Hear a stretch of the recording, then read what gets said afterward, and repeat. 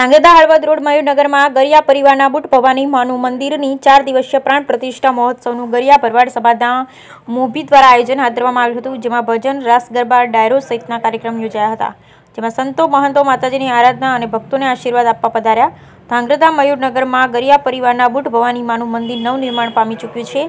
ત્યારે ગરિયા ભરવાડ સમાજમાં મોભી દ્વારા ચાર દિવસીય પ્રાણ પ્રતિષ્ઠા મહોત્સવનું આયોજન હાથ ધરવામાં આવ્યું હતું, જેમાં મંદિરની પ્રાણ પ્રતિષ્ઠામાં બરવાડ રબારી, માલધારી સમાજના મહંત ઘનશ્યામગીરી બાપુ, કનીરામ બાપુ, મૌની બાપુ, ભરત બાપુ અને ઝાલા ભગત બાપુ જેવા પૂજ્ય ગુરુદેવ શ્રીઓએ એક મે અને બુધવારના રોજ સવારે માતાજીની આરાધના અને ભક્તોને આશીર્વાદ આપવા પધાર્યા. તેમજ માલધારી સમાજ નામી આગેવાનો અને ભુવાશ્રીઓ માતાજીના નવરંગ માંડવા તેમજ પ્રાણ પ્રતિષ્ઠા મહોત્સવમાં હાજરી આપી, જેમાં તારીખ અઠ્યાવીસ એપ્રિલથી બે મે સુધી માતાજીની પ્રાણ પ્રતિષ્ઠા મહોત્સવમાં પ્રખર જ્ઞાની, આચાર્ય શાસ્ત્રી શ્રી કેતનભાઈ મહેતા અને ભૂદેવોની ટીમ દ્વારા શાસ્ત્રોક્ત વિધિ કરવામાં આવી.